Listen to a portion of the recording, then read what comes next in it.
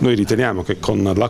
cultura e con l'arte Napoli debba battersi e può battersi e può anche sconfiggere la camorra, la criminalità e la violenza. Non a caso abbiamo adottato lo slogan dell'AMPI per dire proprio questo. Per il 74 anniversario delle quattro giornate di Napoli è previsto in città un programma di iniziative culturali che il Comune ha organizzato per tenere vivi gli ideali della resistenza e ribadire l'impegno quotidiano contro la camorra e la violenza. Dal 28 settembre al 1 ottobre alle celebrazioni ufficiali si aggiunge un calendario di eventi dedicato quest'anno all'intellettuale antifascista Roberto Bracco che l'assessorato alla cultura ha messo a punto insieme con l'AMPI, con l'Istituto Italiano per la Storia della Resistenza Vicenza Vera Lombardi con la Fondazione Premio Napoli ed il contributo di enti, associazioni ed artisti. Quest'anno le quattro giornate sono dedicate a Roberto Baracco, anche perché ci prepariamo l'anno prossimo che è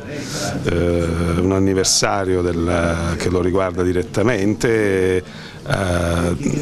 sviluppare con l'Istituto Campano per la Storia della Resistenza, con Premio Napoli, un ampio programma eh, dedicato alla sua figura di drammaturgo e di eh, grandissimo intellettuale, esempio di dignità, di coraggio e ricordare soprattutto la sua la mancata assegnazione del Nobel, eh, frutto appunto della discriminazione fascista. Il programma completo delle iniziative è consultabile sul sito del Comune.